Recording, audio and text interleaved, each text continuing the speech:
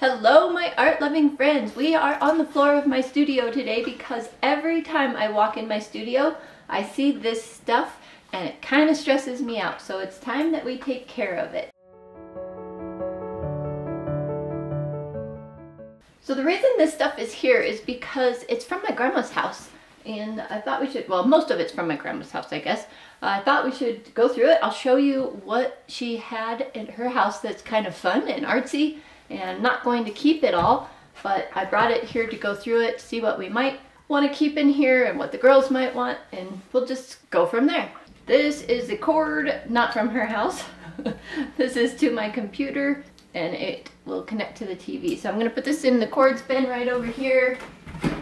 Luckily, it was close. Are you biting my feet? You're biting my feet. And I have this lovely bag. This is not from my grandma's house. This was that birthday gift from one of you guys. And I think maybe today we can find some stuff to put in it or eventually because it's so darn cute. These I got her as a gift a long time ago because I started my art journey thinking I was going to be a colored pencil artist and decided later watercolor was more of my thing. So these are the Prismacolor pencils and I believe I got her the 150 set. So both of these have Prismacolor pencils in them because this case cannot hold 150 pencils.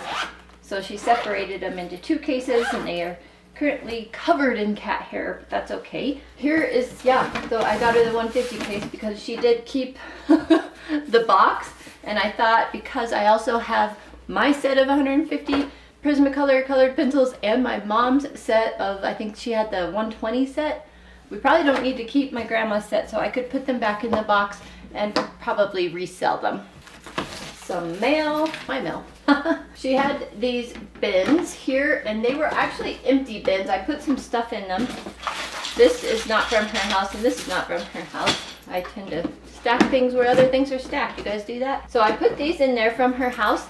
These are tiny little stamps, and I don't think any of them have been opened. No, they're all sealed but they're little square stamps and I thought it would be so fun to do a pixel painting with these squares. So basically I will stamp a square, some color, and a whole big piece of paper. We could make some kind of image in square format. So this is a future video idea. So I have these here, although I think some are duplicates. Yes. Okay, so this is the only duplicate here. So we can probably let that one go. And then there's these four that are round, which I probably won't use. And in this bin were some stamps. She and I used to go scrapbooking together all the time. But these were sayings, sentiments that you could stamp in cards. And that is one thing from my scrapbooking days that I do still use today. So very useful. I'm going to put those with my other stamps. And the girls know they're here. They can come use them. Although they are so busy right now. They don't really have time for art, it seems like, except for my daughter-in-law. She tends to make some time for it. Okay, acrylic paint from U.S. Art Supply. 36 tubes of it here. This is the size.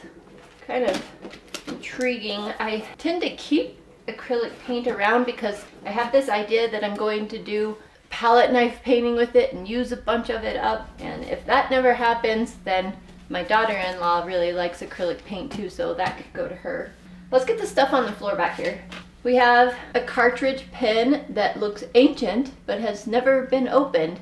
80 cents, Mesa Drug Company. I bet you that company is no longer in that town. And another one without the cartridges. That might be fun to try. She had a little Bao Hong watercolor pad. How cool is that? It's hot press. I've never tried the Bao Hong hot press, so we're definitely putting that in our inventory. And then very shortly before we lost her, she had bought a bunch of watercolor books. These are really fun. She has Mako's or Mako's watercolor book and she has a great YouTube channel. She doesn't post on it very often anymore, but she does still post on it. So she got that book. She got Jenna Rainey's book, a Modern Watercolor Botanicals book by Sarah Simon. I haven't heard of her. So these are going to be really fun to look through. This one that I got her, I showed this to you on my channel a long time ago, but it shows the colored picture and then it has the outlines in the back so you can just trace the outlines onto your watercolor paper and practice watercolor techniques without learning to draw. It's really neat. I actually showed my students this book and encouraged them to buy it and try it. Now that it's back in my possession, perhaps I'll bring this into class and we'll do one or two of them. I think that would be really fun. Watercolor Success in Four Steps, Marina Bakasova. So she was trying to get into watercolor a lot apparently. Gouache in Four Easy Steps, very cool. Anna, I don't know how to say the last name, but this could be a fun one to go through. The Beginner's Guide to Watercolor by Jody Merrill, if I can read the cursive on that correctly. And then this is one of those coloring books that I got her that's from a Ukrainian author. And the paper in here is not super thick, but it also feels very nice at the same time, so this could be fun to try. All right, last thing loose on the floor over here is the Caliart art markers. Oh, are these alcohol markers? Doesn't say. Let's see if we can smell them. Pretty sure that smells like alcohol. we'll have to look that up to know for sure, but oh my goodness, look at this selection. Wow, I had no idea those were in there. That's potentially very fun. I do like markers a lot. I don't tend to use them very often because I only have, I don't know, 24 Copics and that probably sounds like a lot to you, but if you don't have the pastel colors, and I don't really, then it's hard to do marker art properly or easily. So this looks like it has a lot of pastel colors in it. So maybe definitely putting that on the list to try and adding it to the inventory, even though my marker shelf is uh, very full. Mostly full with Poscas and other acrylic markers and water-based markers over there. I do have a couple of Marabu alcohol markers and a few Spectrum Noir ones, not very many. And back here were just a bunch of miscellaneous, they feel like mostly oil painting brushes to me and I did take some out and bring to my students to use because some of the brushes that the college bought for the students to use just have started to fall apart and aren't very good. And so picked some out of here. It was good to have these. And there's also some miscellaneous other brushes in here that I could probably donate to the college as well. I'll have to go through that. And then I do oil paint a lot, but I tend to have brushes that are already used for that, so I'm not sure what I'll do with the rest. We'll figure that out later. So I think what I tried to do at her house, put only gel pens in this box. So this is an entire box of gel pens. It's crazy. So this has gel pens in it, this has gel pens in it, and refill case in there. Refills here. It's kind of ironic though because you get these refills and neither the pins nor the refills are labeled. So basically you're just guessing at the color here, putting it in a random pin and hoping for the best. And yeah, these are all gel pens. Okay, oh I made a mess. We'll have to fix that later. No need to show you all these individually, just a bunch of gel pens. And this, everything's dusty because it was all sitting in random places in her house and now in my house and the cats walked all over it. So these, oh, these are watercolor brush pens, I believe. Yeah, the Arteza brush pens. And I tried these, I think a long time ago. I bought the 12 or 24 set.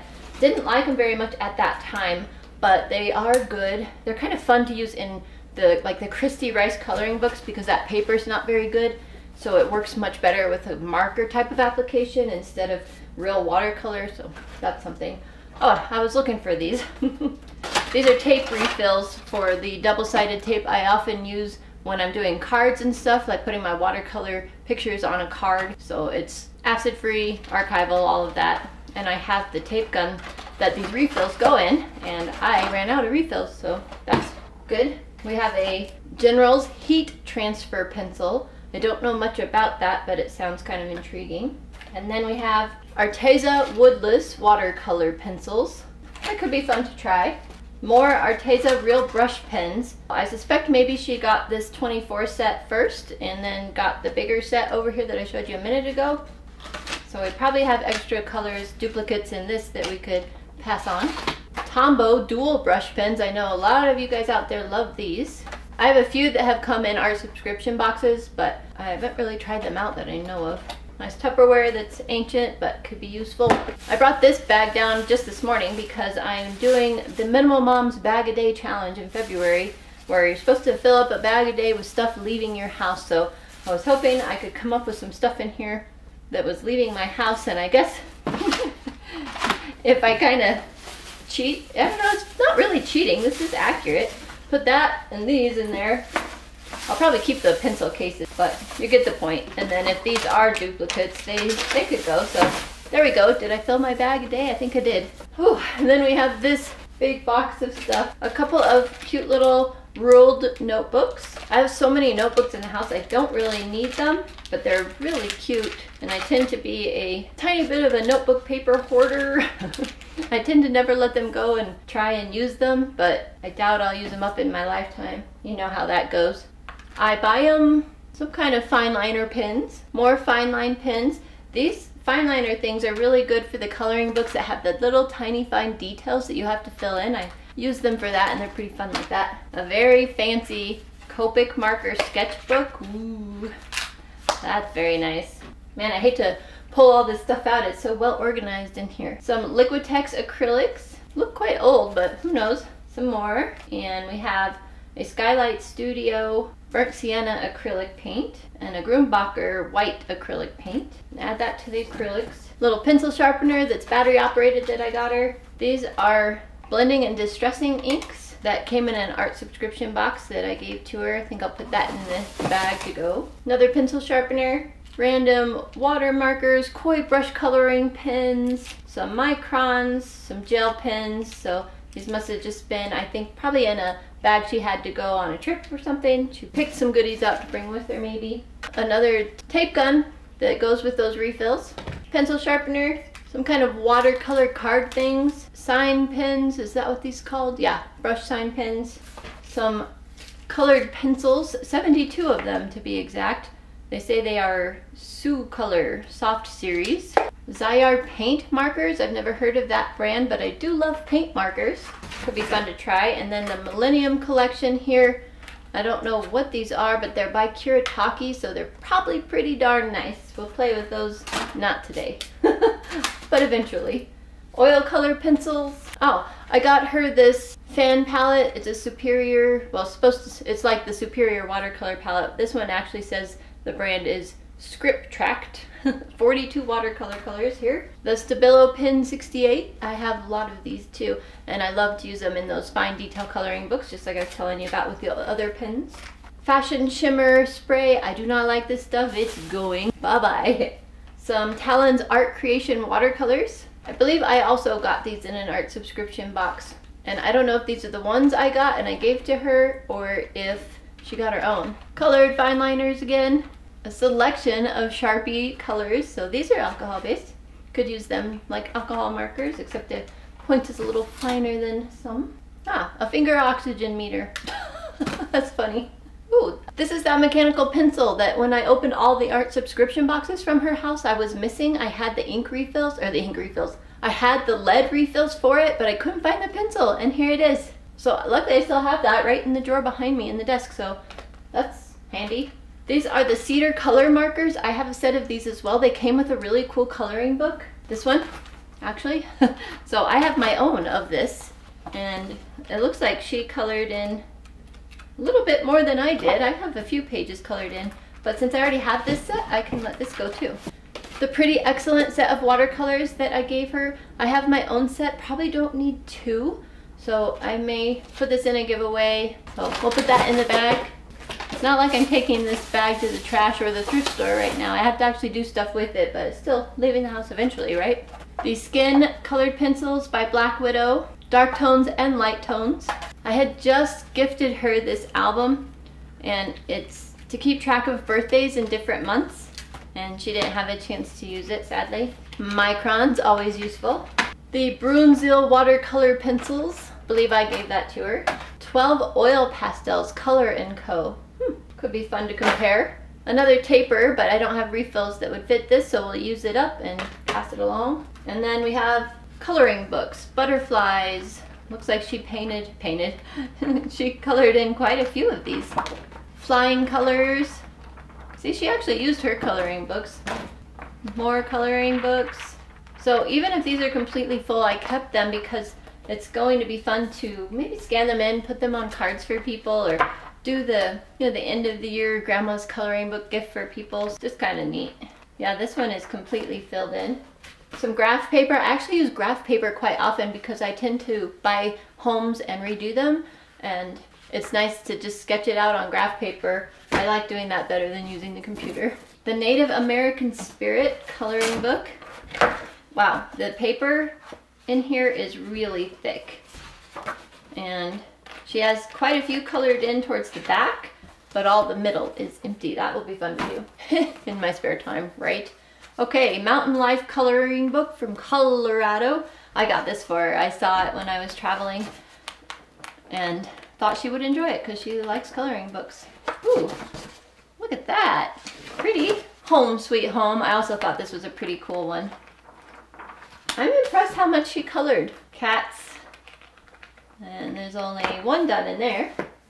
Ooh, you guys just saw in my very last video the Sakuems coloring book. Now I had the one from 2018 and I gave her this one. It was the 2017 version. And I got her the watercolor one too, but she used colored pencil and maybe some marker in it instead. And I'm like, Grandma, you know those pretty excellent watercolors I gave you? And the coloring book is watercolor paper. It would be fun for you to try some of these in watercolors. I think that's what she was maybe going to try and do with this one. This is the 2019 version of the same thing. Oh no, she filled this one in too. Oh, not completely. I mean, it's okay that she used pencil and other mediums, just fine, but oh, these are watercolor pencils, so she did use watercolor pencils. I just think it's so cute. They're, they're actually beautiful. They turned out great. It's just fun, funny. Hearts coloring book. Wow, that's intricate. Yikes.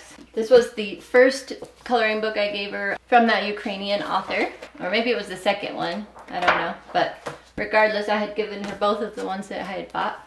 Fanciful Faces, she loved this one, she said, but she didn't. Oh no, it was the ladies one that she used, which is kind of ladies, but doesn't matter. Ancient Polaris Notebook, have to keep that. Let There Be Love, so some of these she would color and then put on Valentine's cards, although this particular book only has, looks like two pages colored in it. Springtime Mandalas, she did a lot in that one. Aw, Teacup Kittens. Oh, this one's a little different. It has place for notes and some sayings in it. That's kind of nice. The 30 Days of Creativity book I got her. Let's see if she did much in that. Just in the beginning, but I also got her the calendar, so I know she filled out the calendar. Watercolor flowers, just add watercolor. Hmm. Uh, this will be fun for us to try out. Looks like she didn't try it at all. Well, that empties that. Last thing from her house that I grabbed, there's still a room and a closet full of stuff down there, but brought back what I could handle. so I filled this here we have oil pastels from Crayola, some more score tape. You guys know I use that all the time. And then we have these Le Plume 2 pastels and standard colors. Dual, they're like dual brush pens. Oh yes, I was gonna try and keep this one all sketchbooks and stuff. Some more refills for the gun and another gun. Plastic palette knife and some random Le Plume markers that probably didn't fit in the set. I bet they came in an art subscription box and then she liked them and bought some more. I bet that's what happened. Arteza Watercolor Premium Pad. It's a regular, very big sketchbook. Mm, two pages used, paper, probably medium weight. Tritone colored pencils from Koh-i-Noor. Yeah, these are the ones with the different colors in one pencil kind of thing. And we got these in an art subscription box. Cool Bank 160 colored pencils. Wow. One thing I will say about her though is she actually used her colored pencils. Anything that she could use that went with her coloring books, she pretty much went through. We have some Let's Resin alcohol inks. I do love alcohol inks, so I'll add that to the collection and someday we'll get back to that. There's a, I have the door shut because I have the laundry going. And the cat just can't handle the door shut. She's over there banging on it. It's gonna ignore her. Another one of her sketchbooks with all of her beautiful Zentangles in that. So the last, what, third of the sketchbook is not used, but I'll have to scan the beginning pages in and make another book for the family. Tiny little sketchbook full of her Zentangles. Ah, oh, they're beautiful. Can't wait to go through them again in more detail. Another sketchbook, empty. Another watercolor sketchbook. Looks like she did a few things in it. And another one. So there's three of these. We could probably pass one on to someone else. Or maybe two. This came in an art subscription box. Oh no, I think this is something I bought in the buy it, try it, and gave to her actually. That was a fun video. I'll link that in the corner for you if you missed that and in the description box below. It was actually one of my first-ish videos that I did on the channel, but it was fun. I used this for cutting wrapping paper, so that'll be useful. And some family pictures, fun to go through those. Strathmore sketchbook. This will be good for my drawing class. I actually love the big sketchbooks like this because I don't like to sketch directly on my watercolor paper. And if I have a nice big sketchbook like this, I can sketch it out and then transfer it to my watercolor paper. So I actually do use these big sketchbooks somewhat often. And you guys are gonna love this last thing. Canson watercolor paper. How old do you think this is? 120 pounds. Oh look, she did some little watercolor doodles. This looks like a stamp actually, so she probably colored the stamp and then stamped it on. But still, looks kind of neat. So yeah, very machine textured watercolor paper here. And it's that thin filling stuff that, you know, maybe probably isn't sized all that well. At least I know the back side of this paper won't be sized. I can feel that right away. Oh, I was hoping there'd be a date on it. That would be so fun to know. No date. Plus the basket itself is kind of cool. And then there's a little like toolbox thing right here that has, I think it's oil painting supplies in it. I guess we'll look real quick. All right, let's see. Sportsman's dry box. Not oil painting supplies. I think this is the tub she brought with us when we went to a watercolor class together like 20 years ago. So there's some Grumbacher Academy watercolors, miscellaneous stuff in here. Spray bottle, some brushes. Ugh, the Niji watercolors. Eh. but hey, we had a good time. Buckets, water buckets, another palette knife, some toilet paper, salt. Oh, do you think that masking fluid's any good? We'll have to open it up and see real quick. And then there's some tape in there. I would say probably not. Curious if underneath the hard layer, ugh, no. It's all separated and gross. Okay, we'll put that in the bag to leave the house. And that can actually go in the trash. oh, I wonder how old that is. And that box right there is the Jazza creativity kit I bought a couple years ago. And then the plastic bin that I don't think you guys can see, but there's a big plastic bin. It's full of acrylic paint and like wood blocks and stuff like that that my dad gave to me that he ended up with in a motorhome that he bought or a fifth wheel that he picked up. And he thought maybe I could do something fun with that. So we'll look into that at some point. I just got distracted because the cat is upside down and her belly's all sprawled out. It's so cute. All right, now that I've actually gone through this and know what's in everything again, I can put it away, add it to my inventory list, and get it out of my entryway. It'll be a great feeling to walk in here and have this all clean. Was there any art supply in particular that intrigued you guys? Is there anything you would like to see me play with first? Also, is there anything you want me to send to you that maybe I don't want? I don't even know what I do and don't want. So if something intrigued you and you're dying to try it, let me know and I'll see if I can send it to you or not. Alright guys, thank you so much for joining me today. I hope you have a fantastic day and I will see you in the next video. Bye for now. And here it is now when we walk in. Oh, it's so much better. This is still stuff for sale right here and then the plastic tub there with some projects in it that I need to finish, but all this open floor space, when you walk in, everything put away. This is good stuff here. You can help? well, you're so helpful. you go and eat my hands, huh? Okay, now that I've been thoroughly slimed, thank you. Are you quite happy with yourself? Are you quite happy with yourself? You're so cute. All right, let's see. I Got my bag.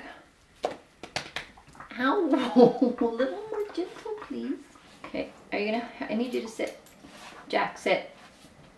Oh, good boy, good boy.